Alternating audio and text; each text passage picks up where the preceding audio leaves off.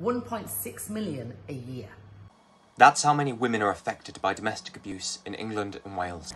Three women killed every two weeks in the UK. And that's just the tip of the iceberg.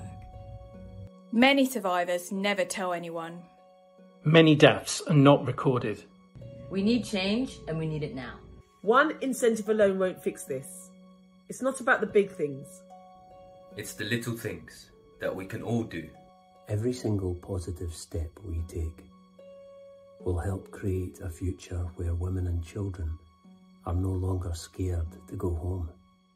As we head towards 50 years of Women's Aid Federation of England, we are asking everyone to end abuse together.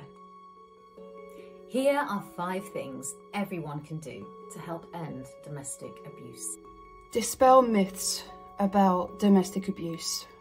Sexist attitudes to women's roles and men's roles must be challenged to end domestic abuse. Make a change where you are. Workplace, school, sports club. Is there a domestic abuse policy? Join campaigns for better protection for survivors or fundraise to enable us to make a change.